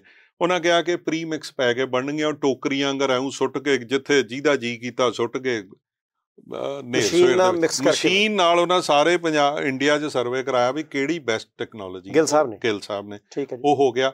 ਕੋਆਪਰੇਟਿਵ ਦਾ ਆਈਡੀਆ ਸੀ। ਮੈਂ ਇੱਥੇ ਕਹਿਣ ਲੱਗਾ ਕਿ ਇੱਕ ਕੈਬਨਿਟ ਮੀਟਿੰਗ ਦੇ ਵਿੱਚ ਸਾਨੂੰ you are not part of the cabinet ਲੇਕਿਨ ਐਜ਼ ਅ ਸਪੋਰਟਸ ਮਿਨਿਸਟਰੀ ਤੁਸੀਂ ਸਪੋਰਟ ਦੇ ਵਿੱਚ ਬੈਠੇ ਹੁੰਦੇ ਹੋ ਤੁਹਾਡੀ ਜ਼ਰੂਰਤ ਪਵੇ ਤੇ ਜਾਂ ਹੋਵੇ। ਸੀਏਸੀਪੀ ਦਾ recommendation cost prices commission the cabinet committee on economic affair ਫੈਸਲਾ ਕਰ ਰਹੀ ਹੈ ਵੀ ਐਮਐਸਪੀ ਕਿੰਨਾ ਦੇਣਾ। ਮੈਂ ਅੱਜ ਇਹ ਕਹਿਣਾ ਕਿ ਬਾਹਰ ਆ ਕੇ ਜਦੋਂ ਇਹ ਗੱਲ ਖੁੱਲੀ ਉਹਨਾਂ ਕਿਹਾ ਵੀ ਤੁਸੀਂ ਸਾਰੇ ਤੇ ਕੰਜ਼ਿਊਮਰ ਸਟੇਟਸ ਹੋ ਜਿਹੜੇ ਸੀਸੀਈਏ ਦੇ ਮੈਂਬਰ ਨੇ। ਤੁਸੀਂ ਕਿੱਦਾਂ ਜਾਓਗੇ? ਤੁਸੀਂ ਤੇ ਆਪਣੀ ਮਰਜ਼ੀ ਮੁਤਾਬਕ ਰੇਟ ਦਿਓਗੇ। ਜਾਨੀ ਉਹ ਨਾ ਸਟੇਟਸ ਨੂੰ ਬਿਲੋਂਗ ਕਰਦੇ ਸੀ ਜਿੱਥੇ ਲੋਕਾਂ ਨੇ ਖਰੀਦਣਾ। ਖਰੀਦਣਾ ਤੇ ਉੱਥੇ ਪ੍ਰੈਸ਼ਰ ਹੋਊਗਾ ਕਿ ਘੱਟ ਕੀਮਤ ਹੋਵੇ। ਬਿਲਕੁਲ। ਠੀਕ ਹੈ ਜੀ। ਸਾਡੇ ਵੱਲੋਂ ਬੋਲਣ ਵਾਲਾ ਹੀ ਕੋਈ ਨਹੀਂ। ਜਿੱਥੇ ਕਿਸਾਨ ਨੂੰ ਵੱਧ ਕੀਮਤ ਚਾਹੀਦੀ ਵੱਧ ਕੀਮਤ ਸਾਡੀ ਰਿਪਰੈਜ਼ੈਂਟੇਸ਼ਨ ਕੋਈ ਨਹੀਂ। ਵੀ ਸਾਨੂੰ ਕਿਉਂ ਨੁਕਸਾਨ ਹੋ ਰਿਹਾ? ਤੁਸੀਂ ਜੇ ਅੱਜ ਇੱਕ ਇਹਦੀ ਕਾਸਟ ਕੈਲਕੂਲੇਸ਼ਨ ਕਰ ਲਵੋ ਤੁਹਾਨੂੰ ਹੈਰਾਨੀ ਇਹ ਹੋਏਗੀ ਕਿ ਸਾਨੂੰ ਆਪਣੀ ਜਿਹੜੀ ਰੋਜ਼ ਦੀ ਦਿਹਾੜੀ ਹੈ ਨਾ ਇੱਕ ਕਿਸਾਨ ਦੀ ਤੇ ਉਹਦੀ family the this is called labour in disguise ਕਿ ਪਰਿਵਾਰ ਦੀ ਮਾਂ ਨੂੰ, ਭੈਣ ਨੂੰ ਵੀ ਤੂੰ ਸਟਾਰਟਰ ਆਨ ਕਰਦੇ ਆਫ ਕਰਦੇ, ਮੈਂ ਆਇਆ, ਮੈਂ ਵੇਖਣ ਲਈ, ਉੱਥੇ ਆ ਜਾ। ਉਹ ਚੀਜ਼ਾਂ ਜਿਹੜੀਆਂ ਨੇ, ਉਹ ਕਾਸਟ ਨਹੀਂ ਪੂਰੀ ਕਰ ਪਾਉਂਦੀਆਂ। ਲਾਏ ਬੰਦਾ ਧੰਦਾ ਤੇ ਹੈ ਹੀ ਨਹੀਂਗਾ ਹੁਣ ਐਮਐਸਪੀ ਦੀ ਜਦੋਂ ਗੱਲ ਹੁੰਦੀ ਏ ਮਿਨੀਮਮ ਸਪੋਰਟ ਪ੍ਰਾਈਸ ਹੁਣ ਅੱਜ ਅੱਜ ਦੇ ਦਿਨ ਸਰਕਾਰ ਨੇ ਇੰਪੋਰਟ ਕਰ ਰਹੀ ਏ ਹਰ ਉਹ ਚੀਜ਼, ਜਿਹਦੇ ਉੱਤੇ ਐਮਐਸਪੀ ਪਿਛਲੇ 7 ਮਹੀਨਿਆਂ 'ਚ ਨਹੀਂ ਦਿੱਤਾ ਗਿਆ। ਮੂੰਗੀ ਕੋਈ ਇੱਕ ਕਿਸਾਨ ਹੱਥ ਖੜਾ ਕਰਕੇ ਉਂਗਲ ਖੜੀ ਕਰਕੇ ਕਹਿ ਦੇ ਕਿ ਮੈਨੂੰ ਐਮਐਸਪੀ ਮਿਲੀ। ਅੱਛਾ ਐਕਸਪੋਰਟ ਹੁੰਦੀ ਆ? ਆ ਗਈ। ਲੌਬੀ ਏਡੀ ਤਗੜੀ ਏ ਕਿ ਮਾਰਕੀਟ ਫੋਰਸਸ ਨੇ ਇਸ ਤਰ੍ਹਾਂ ਡਰਾਈਵ ਕਰਨੀ ਆ। ਪਹਿਲਾਂ ਮੂੰਗੀ ਗਈ ਮਗਰ ਮੱਕੀ ਆ ਗਈ ਧਰਨੇ ਲੱਗਦੇ ਰਹੇ। ਸੂਰਜਮੁਖੀ ਆ ਗਿਆ ਹਰਿਆਣੇ 'ਚ ਕਿੰਨਾ ਡਾਂਗ ਸੋਟਾ ਚੱਲਿਆ। ਉਹ ਕਹਿੰਦੇ ਸਾਨੂੰ 6800 ਤੇ ਹੀ ਦੇ ਦਿਓ 6500 ਤੇ ਹੀ ਦੇ ਦਿਓ ਜਿੰਨਾ ਤੁਸੀਂ ਐਮਐਸਪੀ ਹੁਣ ਅਗਲਾ 7300 7500 ਐਮਐਸਪੀ ਦੀ ਗੱਲ ਚੱਲ ਰਹੀ ਹੈ ਕਿਸੇ ਕਿਸਾਨ ਨੂੰ ਐਮਐਸਪੀ ਮਿਲਿਆ ਚਲੋ ਉਹਨੂੰ 2 ਮਿੰਟ ਲਈ ਗੱਲ ਨੂੰ ਭੁੱਲ ਜਾਈਏ। ਅੱਜ ਤੁਸੀਂ ਕਿਸ ਕਾਸਟ ਪ੍ਰਾਈਸ ਤੇ ਇੰਪੋਰਟ ਕਰ ਰਹੇ ਹੋ? ਬਾਹਰੋਂ ਤੁਸੀਂ ਅੱਜ ਜਿੱਦਣ ਸਾਡੀ ਪ੍ਰੋਕਿਉਰਮੈਂਟ ਖਤਮ ਹੋਈ ਅਗਲੇ ਦਿਨ ਤੁਸੀਂ ਇਹਦੀ ਸੂਰਜਮੁਖੀ ਦੀ ਮੂੰਗੀ ਦੀ। ਹਫ਼ਤੇ ਬਾਅਦ ਤੁਸੀਂ ਇੰਪੋਰਟ ਅਲਾਉ ਕਰਤੀ ਜਿੰਨੀਆਂ ਟੈਰਿਫ ਬੈਰੀਅਰ ਸੀਗੇ ਵੀ ਤੁਸੀਂ ਇੰਨਾ ਇੰਪੋਰਟ ਡਿਊਟੀ ਪੇ ਕਰਨੀ ਹੈ ਐਕਸਾਈਜ਼ ਪੇ ਕਰਨਾ ਸਭ ਖਤਮ। ਰਿਡਕਸ਼ਨ ਦੇਤੀ। ਅੱਛਾ ਪਹਿਲਾਂ ਐਕਸਪੋਰਟ ਦੀ ਆਗਿਆ ਨਹੀਂ ਸੀ ਤੇ ਰੇਟ ਘਟ ਗਏ। ਘਟ ਗਏ ਕਿਸੇ ਨੇ ਖਰੀਦਿਆ ਨਹੀਂ। ਤੇ ਜਦੋਂ ਕਿਸਾਨ ਤੋਂ ਵਪਾਰੀ ਨੇ ਖਰੀਦ ਲਿਆ ਉਦੋਂ ਬੈਰੀਅਰ ਚੱਕ ਤੇ। ਚੱਕ ਤੇ। ਹੁਣ ਤੁਹਾਨੂੰ ਅੱਜ ਦੀ ਐਗਜ਼ਾਮਪਲ ਦਿੰਦਾ ਮੈਂ। ਇੱਕ ਦੋ ਦਿਨ ਦੇ ਵਿੱਚ ਸਾਡੀ ਸਰਕਾਰੀ ਖਰੀਦ ਖਤਮ ਹੋ ਜਾਣੀ ਹੈ ਝੋਨੇ ਦੀ। ਠੀਕ ਹੈ ਜੀ। 30 ਤਰੀਕ ਨੂੰ ਹੁਣ ਤੁਸੀਂ ਪੜਿਆ ਹੀ ਆ ਕਿੰਨਾ ਰੌਲਾ ਪਾ ਰਹੇ ਵੀ ਜੀ 1500 ਤੋਂ ਵੱਧ ਸਾਡੀਆਂ 1800 1850 ਤੋਂ ਵੱਧ ਮੰਡੀਆਂ ਦੇ ਵਿੱਚ ਖਰੀਦ ਹੋਈ। ਹਰ ਮਾਰਕੀਟ ਕਮੇਟੀ ਦੇ ਅੰਡਰ 35 ਤੋਂ ਲੈ ਕੇ 50 55 ਪਿੰਡ ਆਉਂਦੇ ਹੂੰ ਨੇ ਹੂੰ। ਜਦੋਂ ਫਸਲ ਵਿਕਣ ਆਂਦੀ ਹੈ, ਕਿਸਾਨ ਵੇਚਣ ਆਂਦਾ ਉਹਨੂੰ ਇੱਕ ਰੋਡ ਚਾਹੀਦੀ ਹੈ। ਉਹਨੂੰ ਫੜ ਚਾਹੀਦਾ ਜਿਹਦੇ ਤੇ ਵਿਕੇਗਾ। ਉਹਦੀ ਮੇਨਟੇਨੈਂਸ ਕਰਨੀ ਸਰਕਾਰ ਨੇ, ਉਹ ਜਿਹੜਾ ਆਰਡੀਐਫ ਲੱਗਦਾ। ਆੜਤੀਏ ਨੇ ਉੱਥੇ ਫੜ ਪ੍ਰੋਵਾਈਡ ਕਰਨਾ ਮੈਨੇਜ ਕਰਨਾ, ਬੋਰੀ ਸੀਣੀ ਹੈ ਤੁਲਾਈ ਕਰਾਣੀ ਹੈ, ਲਦਾਈ ਕਰਾਣੀ ਹੈ, ਉਹਨੂੰ ਉਹਦੀ ਕਮਿਸ਼ਨ ਮਿਲਦੀ ਹੈ। ਹੁਣ ਉਸ ਤੋਂ ਬਾਅਦ ਸਰਕਾਰ ਨੇ ਜਦੋਂ ਇਹ ਚੀਜ਼ਾਂ ਨੂੰ ਕਹਿੰਦੇ ਨੇ ਵੀ ਜੀ ਤੁਸੀਂ ਬੰਦ ਕਰ ਦਿਓ ਤੇ ਉਹ ਰੂਰਲ ਇਨਫਰਾਸਟ੍ਰਕਚਰ ਮੇਨਟੇਨ ਕੌਣ ਕਰੇਗਾ? ਕਿਸਾਨੀ ਇਹਦਾ ਮਤਲਬ ਪਿੰਡਾਂ 'ਚ ਹੀ ਰਹਿ ਜਾਏਗੀ ਉਹਦੀ ਫਸਲ ਨਹੀਂ ਵਿਕੇਗੀ। ਹੁਣ ਜਿਸ ਦਿਨ ਇਹ 1400 ਮੰਡੀ ਬੰਦ ਹੋ ਗਈ ਮੀਂਹ ਪੈਣ ਕਰਕੇ ਝੋਨੇ ਦੀ ਬਿਜਾਈ ਜਿਹੜੀ ਕਟਾਈ ਸੀ ਉਹ ਲੇਟ ਹੋ ਹੋ ਗਈ ਜੀ। ਹੁਣ ਉਹ ਲਾਗਲੀ ਮੰਡੀ 'ਚ ਲੈ ਕੇ ਜਾਏਗਾ ਜੋ ਮਰਜ਼ੀ ਦਾ ਰੇਟ ਹੈ ਉਹ ਲੱਗੇਗਾ ਕਿਉਂਕਿ ਜਿਹੜੀ ਸੁਪਰ ਫਾਈਨ ਗ੍ਰੇਡ ਹੈ ਉੱਥੇ ਤੱਕ ਤੇ ਖਰੀਦੀ ਗਈ ਹੁਣ ਬਚੀ ਬਾਸਮਤੀ। ਹੁਣ ਇਹਦੀ ਤਰਾਸਦੀ ਇਹ ਹੈ ਬਾਸਮਤੀ ਦੀ। ਬਾਸਮਤੀ ਦੀ। ਤੁਸੀਂ ਕਹਿੰਦੇ ਡਾਈਵਰਸਿਫਾਈ ਕਰੋ ਇਹ ਘੱਟ ਪਾਣੀ ਪੀਂਦੀ ਹੈ। ਜੁਲਾਈ ਦੇ ਐਂਡ 'ਚ 28 29 30 ਦੇ ਕੋਲ ਕੋਲ ਇੱਕ ਬਲੈਂਕਟ ਆਰਡਰ ਨਿਕਲਦਾ ਹੈ ਕਿ ਮਿਨੀਮਮ ਐਕਸਪੋਰਟ ਪ੍ਰਾਈਸ ਫਿਕਸ ਕਰ ਦਿੱਤਾ ਗਿਆ ਚੌਲ ਦਾ 1200 ਡਾਲਰ। ਠੀਕ ਹੈ ਬਾਹਰ ਰੌਲਾ ਇਸ। ਤੋਂ ਥੱਲੇ ਨਹੀਂ ਵਿਕੇਗਾ। ਬਾਹਰ ਨਹੀਂ ਵੇਚ ਸਕਦੇ। ਤੁਸੀਂ ਐਕਸਪੋਰਟ ਕਰ ਹੀ ਨਹੀਂ ਸਕਦੇ। ਠੀਕ ਹੈ। ਮੈਂ ਗੱਲ ਕੀਤੀ ਗਵਰਨਮੈਂਟ ਆਫ ਇੰਡੀਆ ਤੋਂ ਲੈ ਕੇ ਥੱਲੇ ਤਾਂ ਚਲੋ ਸਾਡੇ ਵਰਗੇ ਹੀ ਨੇ ਜਿੰਨੇ ਵੀ ਨੇ ਉਹ ਡਿਸੀਜਨ ਮੇਕਰ ਚ ਤੇ ਹੈ ਹੀ ਨਹੀਂਗੇ ਮੈਂ ਕਿਹਾ ਜੀ ਇਹ ਕਿਸ ਹੁਣ ਪੰਜਾਬੀ ਚ ਕਹਿੰਦਾ ਕਿਸ ਮਹੰਤ ਨੇ ਇਹ ਡੇਟ ਕੱਢੀ ਹੈ ਵੀ 1200 ਡਾਲਰ ਜਿਹੜਾ ਹੈਗਾ ਇਹ ਰੇਟ ਉਹ ਜਾਂ ਪਿਛਲੇ 5 ਸਾਲਾਂ ਦਾ ਦੱਸ ਦਿਓ 1200 ਗਿਆ ਕਦੇ 1050 ਡਾਲਰ ਤੋਂ ਉੱਪਰ ਤੇ ਰੇਟ ਗਿਆ ਹੀ ਨਹੀਂ। ਅੱਛਾ ਇੱਕ ਡੇ 1050 ਡਾਲਰ ਤੋਂ ਉੱਪਰ ਗਿਆ ਨਹੀਂ ਸੀ ਕਿ 1200 ਤੱਕ 1200 ਕਰਤਾ। ਉਹਦਾ ਅਸਰ ਕੀ ਹੋਇਆ? ਪਹਿਲੇ ਦਿਨ ਹਵਾ ਫੈਲ ਗਈ ਮਾਰਕੀਟ 'ਚ ਕਿ ਭਾਈ ਤੇਰੀ ਬਾਸਮਤੀ ਤੇ ਨਹੀਂ ਚੁੱਕੀ ਜਾਣੀ। ਉਹ ਬਸ ਹੁਣ ਕੰਮ ਹੋ ਗਿਆ। ਜਿਸ ਤਰ੍ਹਾਂ ਗੱਲ ਕਰਦਾ ਕਾਰੋਬਾਰੀ, ਕਿਸਾਨ ਵੇਖੇ, ਉਧਰੋਂ ਮੀਂਹ ਪੈਣ ਦਾ ਖਦਸ਼ਾ ਹੋ ਰਿਹਾ। ਜਿਹੜੀਆਂ ਨਵੀਆਂ ਵੈਰਾਈਟੀਆਂ ਘੱਟ ਪਾਣੀ ਵਾਲੀਆਂ ਸਰਕਾਰ ਨੇ ਇੰਟਰੋਡਿਊਸ ਕਰਾਈਆਂ। 3600 3500 3400 ਦੇ ਕੋਲ ਆਈਆਂ 1847 ਤੋਂ ਲੈ ਕੇ, ਉਹ 2700 2600 ਤੱਕ ਡਿੱਗ ਪਈ। ਮੈਂ ਮਾਰਕੀਟ 'ਚ ਚਲੋ ਕਿਸਾਨੀ ਭਾਈਚਾਰਾ ਜਾ ਕੇ ਕੋਸ਼ਿਸ਼ ਕੀਤੀ ਚਾਰਾਜੋਈ ਕੀਤੀ ਵੀ ਕੀ ਹੋਇਆ। ਮੈਂ ਸਾਰੀਆਂ ਸੰਬੰਧਿਤ ਧਿਰਾਂ ਨਾਲ ਗੱਲ ਕੀਤੀ ਉਸ ਤੋਂ ਬਾਅਦ ਇੱਕ ਨਵੀਂ ਅਫਵਾਹ ਉਡਾਤੀ ਕਿ ਜੀ ਇਹ ਜਿਹੜਾ ਨਵਾਂ ਆਇਆ ਹੈ ਵੀ ਇਹਦਾ ਜੀ ਟੋਟਾ ਬੜਾ ਨਿਕਲਦਾ। ਹੁਣ ਆਮ ਬੰਦੇ ਨੂੰ ਕਿਹਨੂੰ ਪਤਾ? ਜੀ। ਕਿਸਾਨ ਨੂੰ ਇਹ ਡਰਾਤਾ ਵੀ ਜੀ ਤੁਹਾਡਾ 65% ਚੌਲ ਨਿਕਲਣਾ ਤੇ ਇਸ ਕਰਕੇ ਸ਼ੈਲਰ ਵਾਲਿਆਂ ਨੇ ਖਰੀਦਣਾ ਨਹੀਂ ਉਹਦਾ ਰੇਟ ਹੋਰ ਡਾਊਨ ਹੋ ਗਿਆ। ਮੈਂ ਵਾਈਸ ਚਾਂਸਲਰ ਸਾਹਿਬ ਨਾਲ ਗੱਲ ਕੀਤੀ ਲੁਧਿਆਣੇ ਵਾਲਿਆਂ ਨਾਲ ਗੱਲ ਕੀਤੀ। ਮੈਂ। ਕਿਹਾ ਜੀ ਸਰਕਾਰ ਦੀਆਂ ਫਲੋਟਡ ਵੈਰਾਈਟੀਆਂ ਦਾ ਜੇ ਇਦਾਂ ਸੜਕਾਂ ਦੇ ਹਾਲ ਬੁਰਾ ਹੋਣਾ ਹੈ ਉਹਨਾਂ ਉਸੇ ਵੇਲੇ ਚਲੋ ਮੈਂ ਕਿਹਾ ਜੀ ਜਿੰਨਾ ਸਾਡਾ ਪਬਲਿਕ ਰਿਲੇਸ਼ਨ ਡਿਪਾਰਟਮੈਂਟ ਆ ਮਾਸ ਕਮਿਊਨੀਕੇਸ਼ਨ ਡਿਪਾਰਟਮੈਂਟ ਆ ਡਿਪਟੀ ਕਮਿਸ਼ਨਰ ਨੇ ਡੀਪੀਆਰਓ ਨੇ ਉੱਥੇ ਮਾਰਕੀਟ 'ਚ ਗੱਲ ਜਾਵੇ ਵੀ ਐਸੀ ਕੋਈ ਗੱਲ ਨਹੀਂ ਹੈ ਸਿਰਫ ਮਾਰਕੀਟ ਦੀ ਅਫਵਾਹ ਹੈ। ਜਿੰਨੀ ਦੇਰ ਤੱਕ ਪਹੁੰਚਦਿਆਂ ਹੋਈ ਉਦੋਂ ਤੱਕ ਸਾਰਾ ਕੁਝ ਡਾਊਨ ਚੱਲ ਰਿਹਾ ਸੀਗਾ। ਫਿਰ ਮੁੱਖ ਮੰਤਰੀ ਸਾਹਿਬ ਨੇ ਜ਼ੋਨਲ ਕਾਉਂਸਲ ਦੀ ਮੀਟਿੰਗ ਹੋਈ ਅੰਮ੍ਰਿਤਸਰ। ਹੋਮ ਮਿਨਿਸਟਰ ਆਏ ਉੱਥੇ ਬੜਾ ਮਸਲਾ ਉੱਠਿਆ। ਇਹ ਜੀ ਘਟਾ ਦੇਾਂਗੇ ਗੱਲਾਂ ਚੱਲੀਆਂ ਐਕਸਪੋਰਟ ਵਾਲੇ ਅਲੱਗ ਧਰਨਾ ਲਾ ਕੇ ਬੈਠ ਗਏ ਸ਼ੈਲਰ ਅਲੱਗ ਬੈਠ ਗਏ ਕਿਸਾਨ ਯੂਨੀਅਨ ਅਲੱਗ ਧਰਨੇ ਤੇ ਬੈਠੀਆਂ ਨੇ। ਪੱਲੇਦਾਰ ਤੇ ਲੇਬਰ ਨੇ ਆਪਣੀ ਕਹਾਣੀ ਸ਼ੁਰੂ ਕਰ ਲਈ ਕਿਉਂਕਿ ਉਹਨਾਂ ਨੂੰ ਪਤਾ ਹੈ ਵੀ ਜਦੋਂ ਕਿਸਾਨ ਆਏਗਾ ਧਰਨਾ ਲਾਏਗਾ ਤੇ ਸਰਕਾਰ ਕੋਲੋਂ ਮਜਬੂਰ ਕਰਕੇ ਅਸੀਂ ਇਹਦਾ ਫੈਸਲਾ ਕਰਾਵਾਂਗੇ। ਜੀ। ਕਿਸੇ ਵੇਲੇ 6 ਲੱਖ ਟਨ ਦੇ ਕੋਲ ਪੀਕ ਦੇ ਉੱਤੇ ਪਰ ਡੇ ਦੀ ਆਮਦ ਹੋ ਜਾਂਦੀ ਹੈ 4 ਤੋਂ ਲੱਖ ਤੋਂ ਲੈ ਕੇ 7 ਲੱਖ ਟਨ ਤੱਕ। ਜੇ ਤੁਸੀਂ ਇੱਕ ਦਿਨ ਤੁਸੀਂ ਪੈਡੀ ਨਹੀਂ ਚੁੱਕਦੇ ਲਿਫਟਿੰਗ ਨਹੀਂ ਹੁੰਦੀ ਪਹਿਲੀ ਵਾਰੀ ਸੁਣਿਆ ਜੀ ਲੇਬਰ ਨੇ ਇਹ ਕਹਿ ਦਿੱਤਾ ਕਿ ਜੀ ਅਸੀਂ 9 ਤੋਂ 5 ਕੰਮ ਕਰਨਾ। ਸਾਰਾ ਸਾਲ ਵਿਹਲੇ ਫਿਰੀ ਜਾਣਗੇ ਕੋਈ ਗੱਲ ਨਹੀਂ ਬਟ ਹੁਣ ਅਸੀਂ 9 ਤੋਂ 5 ਕੰਮ ਕਰਨਾ ਤਾਂ ਕਿ ਬਾਰਗੇਨ ਉਹਨਾਂ ਦੇ ਹੱਥ 'ਚ ਆਈ। ਜੀ। ਸ਼ੈਲਰ ਵਾਲਿਆਂ ਨੇ ਇਹ ਕਹਿਤਾ ਕਿ ਜੀ ਇਹਦੇ 'ਚ ਟੋਟਾ ਜ਼ਿਆਦਾ ਆ ਰਿਹਾ ਅਸੀਂ ਇਹ ਵੈਰਾਈਟੀ ਨਹੀਂ ਖਰੀਦਣੀ। ਜਾਂ ਸਾਡੀ ਸ਼ੈਲਿੰਗ ਦੀ ਜਾਂ ਫੋਰਟੀਫਿਕੇਸ਼ਨ ਦੀ ਜਿਹੜੀ ਪਾਲਿਸੀ ਹੈ ਉਹ ਠੀਕ ਨਹੀਂ ਹੈਗੀ ਕਿਉਂਕਿ ਤੁਸੀਂ ਸਾਨੂੰ 45 ਜਿਹੜਾ ਮਸਾਲਾ ਦਿੱਤਾ ਹੈ। ਉਹ ਠੀਕ ਨਹੀਂ ਡਿਲੀਵਰ ਕਰ ਲਿਆ ਪਿਸਿਆ ਕੌਣ? ਕਿਸਾਨ ਉਸ ਤੋਂ ਬਾਅਦ ਸਰਕਾਰ ਨੇ ਇਹ ਵੇਖਣਾ ਵੀ ਲੋਕਾਂ ਨਾਲ ਧੱਕਾ ਹੋ ਰਿਹਾ ਉਹਨਾਂ ਪੰਜ ਸੱਤ ਅਫਸਰ ਭੇਜਤੇ ਇੱਕ ਅੱਧਾ ਸਸਪੈਂਡ ਹੋ ਜਾਊਗਾ। ਜਦੋਂ ਸਸਪੈਂਡ ਹੋ ਜੂ ਉਹਦੀ ਯੂਨੀਅਨ ਧਰਨੇ ਤੇ ਬੈਠ ਜੇਗੀ। ਉਹ ਧਰਨੇ ਤੇ ਬੈਠੇਗੀ ਉਹਨੂੰ ਮਨਾਉਣ ਦੇ ਵਿੱਚ ਟਾਈਮ ਲੱਗੇਗਾ। ਕਿਸਾਨ ਉੱਥੇ ਸੜਕ ਤੇ ਰੁਲਦਾ ਪਿਆ ਹੋਏਗਾ ਰਾਤ ਬੈਠਾ ਹੋਊਗਾ। ਅੱਗੋਂ ਸਾਡੇ ਨੌਜਵਾਨ ਅੱਗੇ ਕਾਲੇ ਅੱਗੇ ਹਵਾ ਦੇ ਵਿੱਚ ਇਹ ਸਭ ਗੱਲ ਫੈਲੀ ਹੈ ਵੀ ਇੱਥੇ ਕੁਝ ਨਹੀਂ ਹੈਗਾ। ਉਹ ਜਿਹੜੀ ਇੰਨੀ 네ਗੇਟਿਵਿਟੀ ਵੱਧ ਜਾਣੀ ਹੈ ਉਹ ਕਿੱਥੇ ਉਹਦਾ ਐਂਡ ਹੋਣਾ? ਹੁਣ ਅੱਜ ਮੈਂ ਦਾਅਵੇ ਨਾਲ ਕਹਿਣਾ ਮੈਂ 2 ਮਹੀਨੇ ਪਹਿਲੇ ਕਿਹਾ ਸੀ ਕਿਸੇ ਨੂੰ ਪਰਾਲੀ ਦੀ ਚਿੰਤਾ ਨਹੀਂ। ਕਿਹੜੇ ਮਹੀਨੇ ਦੀ ਗੱਲ ਹੈ? ਸਤੰਬਰ ਦੇ ਮਹੀਨੇ ਦੇ ਵਿੱਚ ਜਦੋਂ ਸਰਕਾਰੀ ਪ੍ਰੋਕਿਉਰਮੈਂਟ ਸ਼ੁਰੂ ਹੋਣੀ ਹੈ। ਠੀਕ ਹੈ ਝੋਨਾ ਵੱਢ ਹੋਣਾ ਸੀ। ਵੱਢ ਹੋਣ ਤੋਂ 15 ਦਿਨ ਪਹਿਲੇ। ਠੀਕ ਹੈ। ਇੱਕ ਹੁੰਦਾ ਗੱਲ ਆਪਸ 'ਚ ਸਲਾਹ ਕਰ ਲੈਣੀ ਇੱਕ ਕਿਸੇ ਨੂੰ ਚਿੱਠੀ ਲਿਖ ਦੇਣੀ ਇੱਕ ਮਾਸ ਮੀਡੀਆ ਦਾ ਮੇਰੇ ਖਿਆਲ ਨਾਲ ਮੈਂ 2 ਲੱਖ ਬੰਦੇ ਨੂੰ ਉਹ ਸੌਖੀ ਗੱਲ ਨਹੀਂ ਕਿ 2 ਲੱਖ ਬੰਦੇ ਨੂੰ ਉਹ ਵੀਡੀਓ ਭੇਜਿਆ ਵੀ ਭਰਾਓ ਇਹ ਪੰਜਾਬ ਦੇ ਸਾਡੀ ਐਗਜ਼ਿਸਟੈਂਸ ਦਾ ਖਤਰਾ ਹੈ ਸਾਨੂੰ ਬਿਨਾ ਮਤਲਬ ਦੇ ਭੰਡਿਆ ਜਾਏਗਾ। ਸਾਨੂੰ ਮਤਲਬ ਕਿਸਾਨੀ ਹੈ ਹੋਰ ਕੀ ਹੈ ਪੰਜਾਬ ਦੇ ਵਿੱਚ? ਕੋਈ ਕਹਿ ਦੇਗਾ ਜੀ ਇਹ ਕਿਸਾਨੀ ਦੀ ਗੱਲ ਕਰਦਾ। ਕਿਸਾਨੀ ਦੀ ਗੱਲ ਨਹੀਂ ਇਹ ਧੁਰਾ ਹੈ ਕਿਸਾਨੀ ਪੰਜਾਬ ਦਾ। ਜੀ। ਗੱਲ ਹੋਈ ਸੀ ਸਮਾਰਟ ਜਿਹੜੀਆਂ ਨੇ ਕੰਬਾਈਨ ਹਾਰਵੈਸਟਰ ਬਣਨਗੀਆਂ ਕਿੱਥੇ ਨੇ? ਉਸ ਤੋਂ ਬਾਅਦ ਆਇਆ ਜੀ ਮਲਚਰ ਦਵਾਂਗੇ ਕਟਰ ਦਵਾਂਗੇ ਰੀਪਰ ਦਵਾਂਗੇ। ਉਸ ਤੋਂ ਬਾਅਦ ਆ ਗਈ ਜੀ ਕਿ ਹੈਪੀ ਸੀਡਰ ਉਹ ਫੇਜ਼ ਆਊਟ ਹੋ ਗਿਆ ਸੁਪਰ ਸੀਡਰ ਉਹ ਫੇਜ਼ ਆਊਟ ਹੋ ਗਿਆ ਸਮਾਰਟ ਸੀਡਰ ਆ ਗਿਆ। ਮੈਂ ਕਿਹਾ ਕਦੋਂ ਆਣੇ ਨੇ? ਕਦੋਂ ਲੋਕਾਂ 'ਚ ਚਰਚਾ ਹੋਏਗੀ? ਭਾਰਤ ਸਰਕਾਰ ਇਸ ਵੇਲੇ ਸ਼ਾਂਤੀ ਨਾਲ ਬੈਠੀ ਹੋਈ ਏ। ਤੁਸੀਂ ਸਾਡੀ ਮੰਨ ਲਓ 1 ਮਿੰਟ ਜਿੱਦਾਂ ਕਿਸਾਨੀ ਨੂੰ ਭੰਡ ਦਿਓ ਵੀ ਇਹ ਕੋ ਪਾਇਦਾਰ ਕੰਮ ਨਹੀਂ ਕਰਦੇ। ਪੰਜਾਬ ਸਰਕਾਰ ਚੰਗੀ ਤਰ੍ਹਾਂ ਮੋਨੀਟਰਿੰਗ ਨਹੀਂ ਕਰਦੀ ਦੋਨੋਂ ਗੱਲਾਂ ਮੰਨ ਲੈਂਦੇ ਆ। ਕਿਸਾਨ ਜਿਹੜਾ ਹੈ ਉਹ ਪਰਾਲੀ ਨੂੰ ਅੱਗ ਲਾ ਦਿੰਦਾ। ਉਹ ਜਿਸ ਕਿਸਾਨ ਕੋ ਰੋਟੀ ਖਾਣ ਲਈ ਪੈਸਾ ਹੈ ਨਹੀਂਗਾ ਉਹਨੂੰ ਵਿੰਡੋ ਕਿੰਨੀ ਮਿਲੀ? 2 ਹਫ਼ਤੇ ਦੀ ਮਿਲੀ। ਅਗਲੀ ਫਸਲ ਲਈ। ਅਗਲੀ ਫਸਲ ਉਹ ਵੀ ਐਤਕੀ 2 ਹਫ਼ਤੇ ਤੋਂ ਘਟ ਕੇ 1 ਹਫ਼ਤਾ ਰਹਿ ਗਈ ਕਿਉਂਕਿ ਪਾਣੀ ਪੈ ਗਿਆ। ਹੁਣ ਤੁਸੀਂ ਦੋਨੋਂ ਮੰਨ ਲਿਆ ਡਿਫਾਲਟਰ ਨੇ।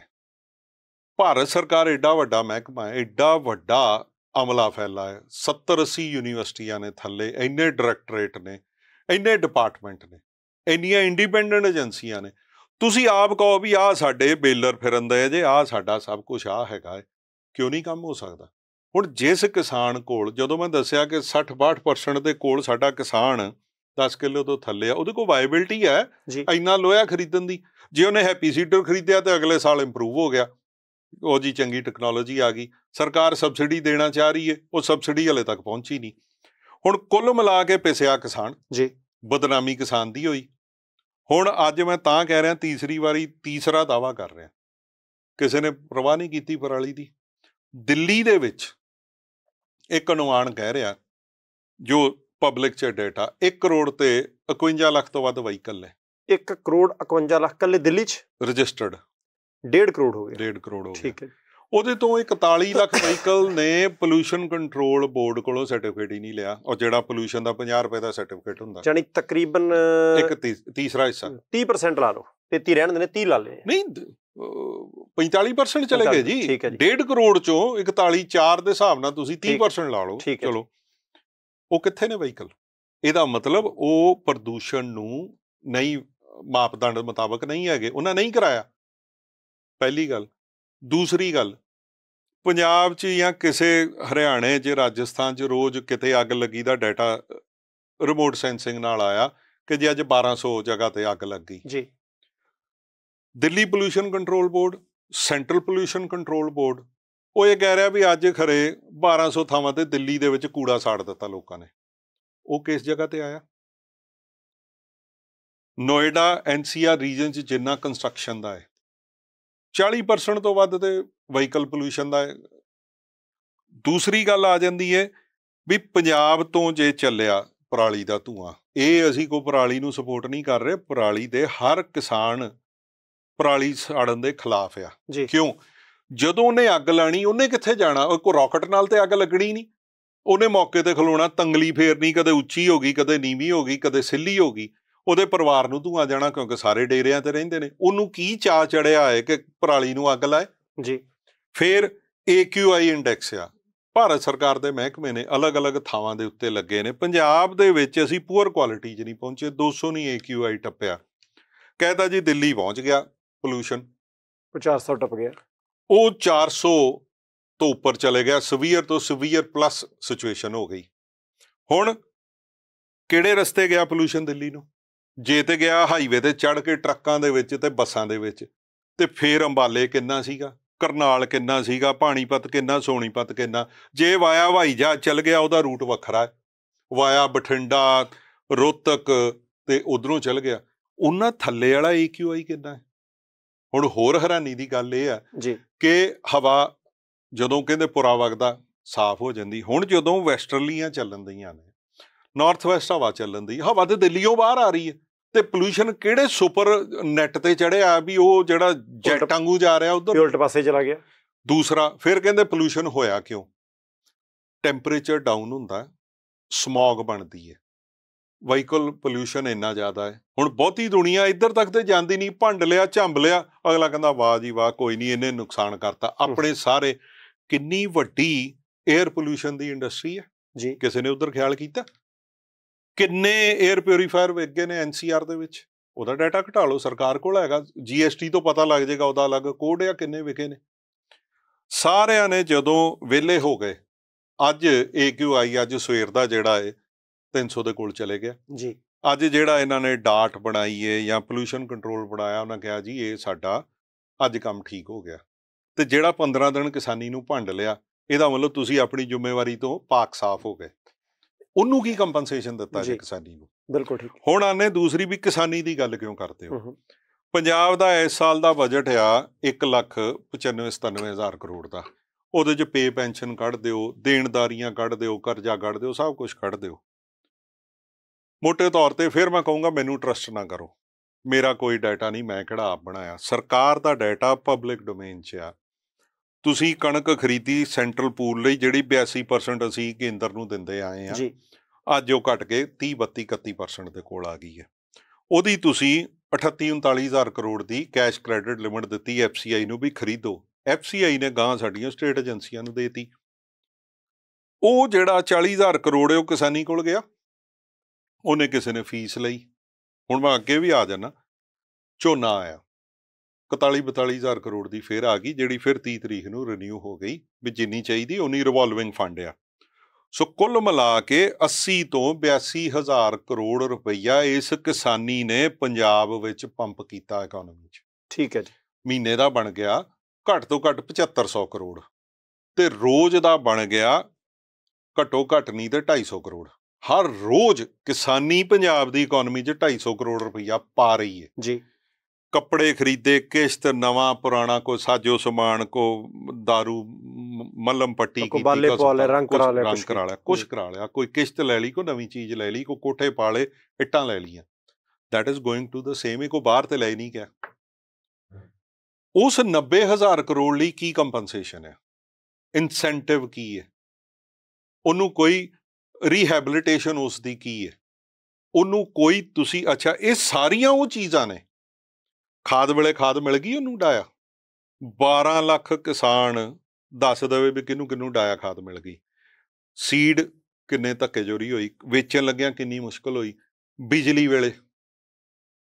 ਜਦੋਂ ਇਹ ਗੱਲਾਂ ਉਹ ਨੇ ਜਿਹੜੀਆਂ ਸਾਡਾ ਕਿਸਾਨੀ ਭਾਈਚਾਰਾ ਉਹ ਜਾਣੇ ਕਹਿ ਕੇ ਭੁਲਾ ਦਿੰਦਾ। ਜਦੋਂ ਕਿ ਕਿਸੇ ਹੋਰ ਸਟੇਟ 'ਚ ਜਾਈਏ ਨਾ ਐਦਾਂ ਵਹੀ ਖਾਤੇ ਅੰਗਰ ਹਿਸਾਬ ਲਿਖਿਆ ਹੁੰਦਾ, ਜਿੱਦਾਂ ਮੰਨ ਲਓ ਇੱਕ ਦਿਨ ਹਨੇਰੀ ਤੂਫਾਨ ਆ ਗਿਆ ਪੋਲ ਟੁੱਟ ਕੇ ਦੋ ਜਾਂ ਰਾਤ ਵੇਲੇ ਟਰਾਂਸਫਾਰਮਰ ਸੜ ਗਿਆ ਉਸੇ ਵੇਲੇ ਤੇ ਭੱਜੇ ਨਹੀਂ ਆ ਜਾਣਾ ਕਿਸੇ ਨੇ।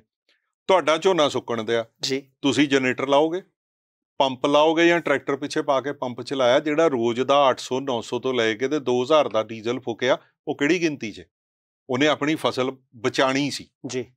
ਹੁਣ ਦੂਸਰੇ ਪਾਸੇ ਜਿਹੜੀ ਵੱਡੀ ਗੱਲ ਇਹ ਆ ਵੀ ਜੇ ਅਸੀਂ ਕਿਸਾਨੀ ਦੁੱਖ ਦਾ ਕੰਮ ਇਹ 90000 ਕਰੋੜ ਨੇ ਪੰਜਾਬ ਦੀ ਇਕਨੋਮੀ ਚਲਾਣੀ ਹੈ ਰੇੜੀ ਵਾਲੇ ਨੂੰ। ਖੁਸ਼ੀ ਗਮੀ ਨੂੰ ਦੁਕਾਨਦਾਰ ਨੂੰ ਕਾਰੋਬਾਰੀ ਨੂੰ ਨਿੱਕੇ ਨੂੰ ਛੋਟੇ ਨੂੰ ਬੱਸ ਚੜ੍ਹੇਗਾ ਕੋਈ ਕਿਸਾਨ ਕੋਈ ਕੁਛ ਜਾਏਗਾ ਕੋਈ ਕਾਰੋਬਾਰ ਦੇ ਵਿੱਚ ਹੀ ਲਾਏਗਾ ਨਾ। ਤੇ ਜੇ ਤੁਸੀਂ ਇਹਨੂੰ ਨਿੰਦੀ ਜਾਓਗੇ ਇੰਡਸਟਰੀ ਦੀ ਗੱਲ ਕਰਦੇ ਜ਼ਰੂਰ ਲਾਓ ਇੰਡਸਟਰੀ ਜੀ। ਲੇਕਿਨ ਉਹਦਾ ਕੰਪੈਰੀਜ਼ਨ ਤੇ ਕਰੋ। ਜੀ ਚੀਮਾ ਸਾਹਿਬ ਮੈਂ ਇੱਥੇ ਇੱਕ ਵਾਰੀ ਤੁਹਾਨੂੰ ਰੋਕਣ ਲੱਗਿਆ ਕਿ ਆਪਣੇ ਕੋਲ ਮਿੰਟ ਚਾਰ ਕੀ ਬਾਕੀ ਨੇ। ਜੇ ਸਰਕਾਰੀ ਨੀਤੀਆਂ ਠੀਕ ਹੋ ਜਾਣ ਕਿਉਂਕਿ ਡਿਟੇਲ 'ਚ ਗੱਲਬਾਤ ਆਪਾਂ ਫਿਰ ਟੋਟਿਆਂ 'ਚ ਵੀ ਕਰਦੇ ਰਹਾਂਗੇ ਕਿਉਂਕਿ ਨਿਬੜਨ ਵਾਲਾ। ਮੁੱਦਾ ਨਹੀਂ। ਜੇ ਸਰਕਾਰੀ ਨੀਤੀਆਂ ਠੀਕ ਹੋ ਜਾਣ ਐਮਐਸਪੀ ਦੀ ਜਿੱਥੋਂ ਸਿਫਾਰਿਸ਼ ਕੀਤੀ ਜਾਂਦੀ ਹੈ ਜੇ ਉੱਥੇ ਤੱਕ ਸਾਡਾ ਮੁੱਦਾ ਚੰਗੇ ਤਰੀਕੇ ਪਹੁੰਚਣ ਲੱਗ ਜਾਏ ਤਾਂ ਕੀ ਹੱਲ ਸੰਭਵ ਨੇ? ਕੁਝ ਹੋ ਸਕਦਾ? ਪੰਜਾਬ 'ਚ ਕਿਸਾਨੀ ਬਚ ਸਕਦੀ ਹੈ ਚਾਰ ਪੈਸੇ ਚਾਰ ਛਿਲੜ ਵੱਧ ਆ ਸਕਦੇ ਆ? ਬਿਲਕੁਲ ਆ ਸਕਦੇ ਨੇ। ਇਹ ਕੋਈ ਬਹੁਤਾ ਲੰਬਾ ਚੌੜਾ ਕੰਮ ਨਹੀਂ ਹੈਗਾ। ਇੱਕ ਐਡਮਿਨਿਸਟ੍ਰੇਟਿਵ ਡਿਸੀਜਨ। ਮੈਂ ਤਾਂ ਹਲੇ ਕੈਬਨਿਟ ਤੱਕ ਜਾਣ ਦੀ ਗੱਲ ਹੀ ਨਹੀਂ ਕਰਦਾ। ਜੀ। ਇੱਕ administrative decision. Priority sector define ਕਰ ਦਿਓ ਵੀ ਕਿਸਾਨੀ ਇਹ ਹੋਏਗੀ। ਤੁਹਾਨੂੰ ਮੈਂ ਕਿੰਨੇ ਕੀ ਜੀ ਐਗਜ਼ਾਮਪਲ ਦਿੰਨਾ। ਸਾਰੇ ਦੇਸ਼ ਦੇ ਵਿੱਚ ਕਿਸਾਨੀ ਦੇ ਉੱਤੇ ਸਰਕਾਰੀ ਡਾਟਾ ਮੁਤਾਬਕ ਕਰਜ਼ਾ ਹੈ 18 ਲੱਖ 50000 ਕਰੋੜ ਦੇ ਕੋਲ ਉੱਪਰ ਥੱਲੇ ਥੋੜਾ ਪਤਾ। ਹੋਏਗਾ ਸਾਰੇ ਦੇਸ਼। 'ਚ ਠੀਕ ਹੈ ਜੀ। ਲੈਣ ਵਾਲੇ ਕਿੰਨੇ ਕਿਸਾਨ ਨੇ? 10 ਕਰੋੜ ਤੋਂ ਵੱਧ 25 ਕੁ ਲੱਖ ਦੇ ਕੋਲ ਨੇ। ਐਵਰੇਜ ਟਿਕਟ ਸਾਈਜ਼ ਕੀ ਆਇਆ? 50000 ਰੁਪਈਆ ਪਰ ਕਿਸਾਨ ਦੇ ਠੀਕ ਹੈ। ਕਾਰਪੋਰੇਟ ਨੇ। 15.5 ਲੱਖ ਕਰੋੜ ਦਾ ਕਰਜ਼ਾ ਸੀ ਉਹਨਾਂ ਦੇ ਉੱਤੇ। 12.5 ਲੱਖ ਕਰੋੜ ਐਨਪੀਏ ਮਾਫ ਹੋ ਗਿਆ। 12.5 ਲੱਖ ਕਰੋੜ। ਬੈਨੀਫੀਸ਼ੀਅਰੀ ਕਿੰਨੇ ਨੇ? ਚੰਦ ਲੱਖ। ਜੀ। ਰੀਹੈਬਿਲਿਟੇਸ਼ਨ ਪੈਕੇਜ 10 ਕਰੋੜ ਨੂੰ ਮਿਲਣਾ ਚਾਹੀਦਾ ਕਿ ਚੰਦ ਲੱਖ ਨੂੰ ਮਿਲਣਾ ਚਾਹੀਦਾ? ਤਾਂ ਹੀ ਮੈਂ ਕਿਹਾ ਇੱਕ ਐਡਮਿਨਿਸਟ੍ਰੇਟਿਵ ਆਰਡਰ ਹੈ ਫਾਈਨੈਂਸ ਮਿਨਿਸਟਰੀ ਨੂੰ ਜਾਏ ਕਿ ਇਹ ਸਾਰੀ ਕਿਸਾਨੀ ਦਾ ਜਿਹੜਾ ਕਰਜ਼ਾ ਹੈ ਅਸੀਂ ਕੋ ਮਾਫ ਨਹੀਂ ਕਰ ਰਹੇ। ਇਹ ਇਹਨੂੰ ਰੀਨੇਗੋਸ਼ੀਏਟ ਕਰ ਰਹੇ ਆ ਵੀ ਤੁਹਾਡੇ ਹੜ ਆ ਗਏ ਤੁਹਾਡੇ ਮੀਂਹ ਪੈ ਗਏ ਤੁਹਾਡੇ ਸੋਕਾ ਪੈ ਗਿਆ। ਸਾਡੇ ਪੰਜਾਬ ਦੇ ਵਿੱਚ ਹੜ ਆਏ। ਸਾਡਾ ਕਿੰਨਾ ਕੰਪਨਸੇਸ਼ਨ ਅਸੀਂ ਲੌਜ ਕੀਤਾ ਭਾਰਤ ਸਰਕਾਰ 'ਚ। ਮੈਂ ਇੱਕ ਦੱਸਾਂ ਇੱਕ ਵਾਰ ਮੈਂ ਸਪੈਸ਼ਲ ਪਾਇਲਟ ਪ੍ਰੋਜੈਕਟ ਪੰਜਾਬ ਲਈ ਸੈਂਕਸ਼ਨ ਕਰਾਇਆ ਕਿ ਸਾਡੇ ਝੋਨੇ ਨੂੰ ਇੱਕ ਵਾਰ ਦੇਖ ਲਵੋ। ਸਾਡੇ ਬੰਦਿਆਂ ਨੇ ਜਵਾਬ ਦੇਤਾ ਜੀ ਸਾਡੀ ਤਾਂ ਬੰਪਰ ਕ੍ਰੌਪ ਹੋ ਗਈ। ਉਹ ਮੈਂ ਜੀ ਬੰਪਰ ਕ੍ਰੌਪ ਦੀ ਨਹੀਂ ਗੱਲ ਕਰਦਾ ਮੈਂ। ਮੈਂ ਕਰਦਾ ਪ੍ਰੀ ਹਾਰਵੈਸਟ ਤੋਂ ਬਾਅਦ ਜਿਹੜਾ ਨੁਕਸਾਨ ਹੋਇਆ। ਹੂੰ। ਅਖੀਰਲੇ ਦਿਨ ਮੀਂਹ ਪੈ ਗਿਆ ਗੜੇਮਾਰੀ ਹੋ ਗਈ ਉਹ ਰੁੜ ਗਿਆ। ਉਹ ਬੰਪਰ ਕ੍ਰੌਪ ਕੀ ਕਰੇਗੀ ਉਹਦੇ ਵਿੱਚ? ਉਹ ਰੁੜ ਗਿਆ ਤਾਂ ਉਹ ਕਿੰਨੇ ਦੇਣਾ ਜਾਂ ਤੇ ਸਰਕਾਰ ਦਵੇ ਇੱਕ ਵਨ ਟਾਈਮ ਟੈਸਟ ਕਰਕੇ ਤੇ ਦੇਖ ਲਓ ਸੇਮ ਗੁਜਰਾਤ ਚ ਡਿਸਕਸ਼ਨ ਹੋਈ ਇਹਦੇ ਉੱਤੇ ਮੱਕੀ ਦੇ ਉੱਤੇ ਉਹ ਪੂਰਾ ਕੰਪਨਸੇਸ਼ਨ ਲੈ ਕੇ ਸਾਡੇ ਬੰਦਿਆਂ ਨੇ ਬੌਦਰ ਹੀ ਨਹੀਂ ਕੀਤਾ ਇਹਨੂੰ ਸ਼ੁਰੂ ਕਰਨ ਲਈ ਸੋ ਇਸ ਕਰਕੇ ਇੱਕ ਇਸ ਵੱਡੀ ਸੋਚ ਦੀ ਲੋੜ ਆ ਵੀ ਇਹਨੂੰ ਸੈਕਸ਼ਨ ਨਾ ਮੰਨਿਆ ਜਾਵੇ ਇਹਨੂੰ ਜੀ। ਇੱਕ ਵਰਗ ਨਾ ਮੰਨਿਆ ਜਾਵੇ ਇਹ ਸਾਰੇ ਪੰਜਾਬ ਦਾ ਧੁਰਾ ਹੈ ਤੇ ਸਾਰੇ ਦੇਸ਼ ਦਾ ਧੁਰਾ ਹੈ ਕਿਸਾਨੀ ਜੀ ਕਿਉਂਕਿ ਉਹ ਕਹਿੰਦੇ ਬੀਨ देयर ਡਨ ਦੈਟ ਸਭ ਤੋਂ ਛੋਟੀ ਮਾਰਕੀਟ ਕਮੇਟੀ ਤੋਂ ਲੈ ਕੇ ਤੇ ਭਾਰਤ ਦੀ ਸਭ ਤੋਂ ਵੱਡੀ ਸੰਸਥਾਨ ਤੇ ਜਾ ਕੇ ਵੇਖ ਲਿਆ। ਪਲੈਨਿੰਗ ਕਮਿਸ਼ਨ ਆਫ ਇੰਡੀਆ 'ਚ ਆਪਣੀਆਂ ਰეკਮੈਂਡੇਸ਼ਨਾਂ ਔਰ ਉਹ ਜਿੰਨੀਆਂ ਇਨ ਬਿਨ ਲਾਗੂ ਹੋਈਆਂ ਨੇ ਸਾਰਾ ਕਿਸਾਨੀ ਨੂੰ ਫਾਇਦਾ ਹੋਇਆ। ਜੀ। ਤੇ ਜੇ ਉਹ ਕਰਨ ਦੀ ਗੱਲ ਹੈ ਜਿਸ ਤਰ੍ਹਾਂ ਤੁਸੀਂ ਕਿਹਾ ਇਹ ਇੱਕ ਐਡਮਿਨਿਸਟ੍ਰੇਟਿਵ ਆਰਡਰ ਹੈ ਬਾਕੀ ਜਿਹੜੀਆਂ ਸਟਰਕਚਰਲ ਚੇਂਜਸ ਨੇ ਵੱਡੀਆਂ ਚੇਂਜਸ ਨੇ 6 ਮਹੀਨੇ 'ਚ ਸਾਲ 2 ਸਾਲ 5 ਸਾਲ 'ਚ ਆਉਣ ਵਾਲੀਆਂ ਉਹ ਉਦੋਂ ਹੀ ਹੋਣਗੀਆਂ ਜੇ ਅਸੀਂ ਕਿਸੇ ਨੂੰ ਦੱਸਾਂਗੇ ਵੀ ਬੜਾ ਰੋਇਆ ਤੇ ਨਿਆਣੇ ਨੂੰ ਮਾਂ ਨਹੀਂ ਦੁੱਧ ਦਿੰਦੀ। ਸਾਨੂੰ ਘਰੇ ਬੈਠਿਆਂ ਨੂੰ ਕੀ ਦੇ ਦੂਗੀ। ਚੀਮਾ ਸਾਹਿਬ ਆਪਾਂ ਦੁਬਾਰਾ ਫੇਰ ਜੁੜਾਂਗੇ। ਬਹੁਤ ਸਾਰੇ ਸਵਾਲ ਆਪਣੇ ਮਾਣਮੱਤੇ ਜਿਹੜੇ ਦਰਸ਼ਕ ਨੇ ਉਹਨਾਂ ਦੇ ਵੀ ਆਉਣਗੇ ਕਿਉਂਕਿ ਆਪਾਂ ਅਜੇ ਕੱਲੀ ਕੱਲੀ ਗੱਲ ਕਰਨੀ ਸੀ ਪਰਾਲੀ ਦਾ ਹੱਲ ਕੀ ਹੋ ਸਕਦਾ ਹੈ? ਫੂਡ ਪ੍ਰਬੰਧਨ ਭਾਰਤ ਦੇ ਵਿੱਚ ਕਿੱਦਾਂ ਦਾ ਹੈ? ਅਨਾਜ ਦੇ ਭੰਡਾਰਨ ਦੀਆਂ ਕੀ ਸਮੱਸਿਆਵਾਂ ਨੇ? ਕਿੱਥੇ ਜਾ ਕੇ ਗੱਲ ਰੁਕਦੀ ਹੈ? ਕਿਸਾਨੀ ਦਾ ਨਿਗਾਰ ਕਿੱਥੋਂ ਕੁ ਸ਼ੁਰੂ ਹੋਇਆ? ਸਾਰੀਆਂ ਗੱਲਾਂ ਬਾਤਾਂ ਕਰਾਂਗੇ ਪਰ ਅੱਜ ਸਮਾਂ ਮੁਕੰਮਲ ਹੋ ਚੁੱਕਿਆ। ਤੁਸੀਂ ਜੁੜੇ ਤੇ ਟਿੱਪਣੀਆਂ ਆਉਣਗੀਆਂ ਤੇ ਆਪਾਂ ਉਹਦੇ ਬਾਬਤ ਮੈਂ ਤੁਹਾਨੂੰ ਭੇਜ ਦਊਂਗਾ ਤੁਸੀਂ ਤਿਆਰੀ ਅਗਲੀ ਰੱਖਿਓ। ਸ਼ੁਕਰੀਆ ਜੀ। ਧੰਨਵਾਦ। ਸਰਦਾਰ ਅਮਰਦੀਪ ਸਿੰਘ ਚੀਮਾ ਸਾਹਿਬ ਦੇ ਨਾਲ ਗੱਲਬਾਤ ਹੋਈ। ਤੁਹਾਡੇ ਮਨ ਦੇ ਵਿੱਚ ਬਹੁਤ ਸਾਰੇ ਸਵਾਲ ਆਏ ਹੋਣਗੇ ਕਿਉਂਕਿ ਉਹਨਾਂ ਨੇ ਬਹੁਤ ਸਾਰੇ ਡਾਟਾਜ਼ ਕੱਢ ਕੇ ਦਿੱਤੇ। ਕੁੱਲ ਕਿੰਨੇ ਕਿਸਾਨ ਨੇ? ਕਿਸਾਨ ਦੇ ਉੱਤੇ ਕਿੰਨਾ ਕਰਜ਼ਾ? ਕਾਰੋਬਾਰੀ ਜਿਹੜਾ ਹੈ ਉਹਦੇ ਤੇ ਕਿੰਨਾ ਕਰਜ਼ਾ ਹੈ? ਕਿਹਦਾ ਮਾਫ ਕੀਤਾ ਗਿਆ? ਕਿਹਦਾ ਮਾਫ ਕਰਨਾ ਚਾਹੀਦਾ ਸੀ? ਪੰਜਾਬ ਦਾ ਭੰਡਾਰਨ ਦੇ ਵਿੱਚ ਯੋਗਦਾਨ ਕਿੰਨਾ ਹੈ? ਫਸਲ ਜਦੋਂ ਪੱਕਣ ਲੱਗਦੀ ਹੈ ਕਿਸਾਨ ਦੇ ਕੋਲ ਹੁੰਦੀ ਹੈ ਤੇ ਉਦੋਂ ਬਹੁਤ ਸਾਰੀਆਂ ਪਾਬੰਦੀਆਂ ਲੱਗ ਜਾਂਦੀਆਂ ਭਾਅ ਡਿੱਗ ਜਾਂਦਾ ਹੈ। ਤੇ ਜਦੋਂ ਫਸਲ ਵਪਾਰੀ ਕੋਲ ਕਿਸਾਨ ਦੇ ਹੱਥੋਂ ਨਿਕਲ ਕੇ ਚਲੇ ਜਾਂਦੀ ਹੈ, ਫਿਰ ਪਾਬੰਦੀਆਂ ਹਟ ਜਾਂਦੀਆਂ, ਭਾਅ ਵੱਧ ਜਾਂਦਾ ਅਸਲ ਦੇ ਵਿੱਚ ਕੰਮ ਕਿਹਨੇ ਕੀਤਾ ਤੇ ਪੈਸਾ ਕਿਹਨੂੰ ਵਟਣ ਦਾ ਮੌਕਾ ਮਿਲਿਆ? ਉਹ ਸਾਰੀਆਂ ਚੀਜ਼ਾਂ ਤੇ ਹੋਰ ਬਹੁਤ ਕੁਝ ਪਰਾਲੀ ਵਾਲੇ ਮਸਲੇ ਦੇ ਉੱਤੇ ਵੀ ਜਿਵੇਂ ਚੀਮਾ ਸਾਹਿਬ ਨੇ ਦਾਵਾ ਕੀਤਾ ਕਿ ਉਦੋਂ ਤਾਂ ਜੇ ਝੋਨਾ ਪੰਜਾਬ ਦੀਆਂ ਮੰਡੀਆਂ 'ਚ ਵੀ ਨਹੀਂ ਸੀ ਆਇਆ ਤੇ ਇਹਨਾਂ ਨੇ ਉਦੋਂ ਅਗਾਹ ਕੀਤਾ ਸੀ, ਪਰ ਲੀਡਰਸ਼ਿਪ ਚੁੱਪ ਰਹੀ। ਪਰ ਸਭ ਤੋਂ ਅਹਿਮ ਗੱਲ, ਇੱਕ ਪ੍ਰਸ਼ਾਸਕੀ ਹੁਕਮ ਕਿਸਾਨ ਦੀ ਕਿਸਮਤ ਬਦਲ ਸਕਦਾ ਹੈ। ਕੀ ਇਹ ਸੰਭਵ ਹੈ ਕਿ ਸੱਚਮੁੱਚ ਇਦਾਂ ਹੋ ਸਕਦਾ ਫਿਰ ਉਹ ਹੁਕਮ ਕਿਉਂ ਨਹੀਂ ਹੁੰਦਾ? ਆਖਿਰਕਾਰ ਦੁਬਿਧਾ ਕਿੱਥੇ ਕਾ ਹੈ? ਇਹ ਸਾਰੀ ਗੱਲਬਾਤ ਦੇ ਵਿੱਚ ਤੁਹਾਡਾ ਕੋਈ ਸਵਾਲ ਹੋਵੇ, ਸਹਿਮਤੀ ਹੋਵੇ, ਅਸਹਿਮਤੀ ਹੋਵੇ, ਜ਼ਰੂਰ ਦੱਸਣਾ। ਤਾਂ ਤੁਸੀਂ ਟਿੱਪਣੀ ਕਰ ਦਿਓ ਕਿ ਅਸੀਂ ਚੀਮਾ ਸਾਹਿਬ ਨੂੰ ਦੁਬਾਰਾ ਫਿਰ ਹਾਕ ਮਾਰ ਲਾਂਗੇ। ਜੇ ਤੁਹਾਨੂੰ ਚੰਗਾ ਲੱਗਿਆ ਤਾਂ ਜ਼ਰੂਰ ਦੱਸਣਾ। ਅਸੀਂ ਦੁਬਾਰਾ ਵੀ ਪ੍ਰੋਗਰਾਮ ਕਰ ਲਾਂਗੇ। ਪਰ ਅੱਜ ਸਮਾਂ ਮੁਕੰਮਲ ਹੈ, ਇੱਥੇ ਸਮਾਪਤੀ ਹੈ। ਸੋ ਮੈਨੂੰ ਪਰਮਜੀਤ ਸਿੰਘ ਬਾਠ ਨੂੰ ਦਿਓ ਆਗਿਆ ਦੇਖਦੇ ਰਹਿਣਾ ਪ੍ਰਾਈਮੇਸ਼ਾ ਏਸ਼ੀਆ ਟੀਵੀ, ਤੁਹਾਡਾ ਆਪਣਾ, ਤੁਹਾਡੇ ਲਈ।